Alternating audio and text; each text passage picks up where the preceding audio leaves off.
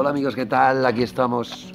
Bueno, a ver qué pasa. Aquí estamos con Portos. Fijaros los Dalton que llevan conmigo un montón de años. Aramis, aquí. Fugas, rojo, pescadito. Aquí están todos, tantísimos años, ¿no? Esto es de. eh, después de grabar la segunda temporada de Malas Pulgas, ¿no? Cuando me tuve que, que ir a la otra casa, ¿no? Pasaron muchas cosas. Algún día contaré tantas cosas que pasaron, ¿no? Si, bueno, ya sabéis que podéis dejar en la caja de comentarios de un montón de cosas que queréis que hable. Bueno, y Apolo está aquí, eh, ya bastante grandote también. Oye, ¿qué pasa ahí chupando cámara? Bueno, amigos, eh, quiero hablar sobre razas de perros. Ya sabéis que desde muy pequeñito me han encantado siempre todos los perros y, por supuesto, también pues de raza de perros sé algo.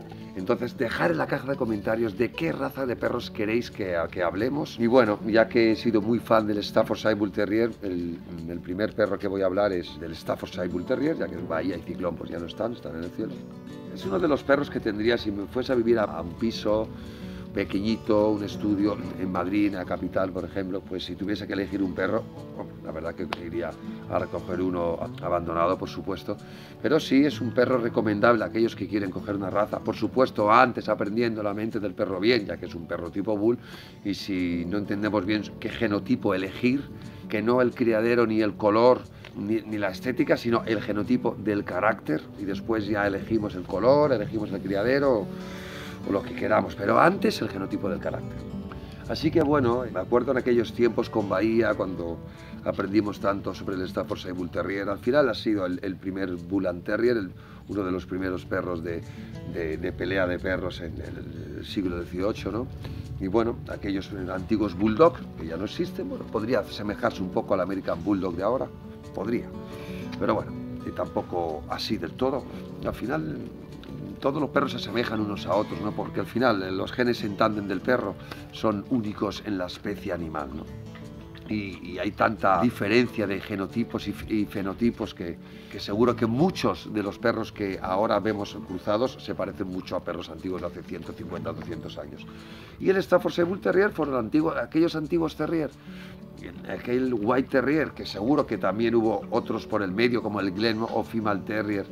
A esta gente de hace 200 años le daba exactamente igual como fuese. Los primeros cruces fueron de un terrier que mordiese muchísimo con un bulldog de la época eh, gra- grandote y fuerte, ¿no? Y esos fueron los primeros cruces, esos fueron los primeros pitbull al final, que los, llamaron de muchas maneras, tanto pitbull como pitbull terrier, como mm, Stafford mm, Pit Terrier, Stafford Bull Terrier, o sea, hubo un montón de nombres que al final, bueno, cu- cuando pasaron unos años y la, la raza ya estandarizó, pues entonces oficialmente para diferenciarla del, del Bull Terrier inglés, la llamaron Staffordshire Bull Terrier, pero el Staffordshire Bull Terrier fue el primer Bull and Terrier.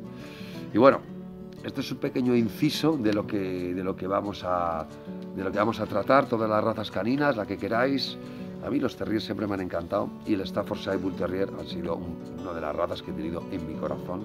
Después del boxer, ¿no? porque antes que Ciclón y Bahía tuve a Butch, ahí está en el cielo, que fue, fueron un poco medio mis principios y, y el boxer fue uno de los perros de mi vida, pero el Staffordshire me, me- me volvió loco, me volvió loco. Y mm, bueno, la puta de todo esto, que fomentaron la- las peleas de perro, pero luego, luego en Inglaterra, posteriori, unos años después, pues gracias a Dios se abolieron las, peleas de perros. También por eso se hicieron más pequeñitos también, cuanto más pequeñitos se podían ocultar, ¿no? Para, para meterlos en aquellos sótanos de, aquellas cantinas, de aquellos bares, ¿no? En, Inglaterra, en Staffordshire, que al final esta gente, bueno, pues eh, sacaban un dinero extra con las peleas de perros y era como un divertimento. Pero bueno, no a las peleas de perros, por supuesto. Y claramente estos genotipos, mm, aunque hayan pasado muchos años, siempre están ahí en la mente. Por eso nunca hay que fomentar la violencia a los perros que vaya contra sus congéneres. Y muy importante entender bien el cerebro condicionado para no fomentar cualquier tipo de, de agresividad. Bueno chicos, mm, darle a like, compartir el vídeo, un besito muy grande, que viva el Staffordshire Bull Terrier, hablaremos largo y tendido sobre las razas, dejar en la caja de comentarios de qué raza queréis que hable. Y nos vemos en próximos vídeos. Chao, chao, nos vemos.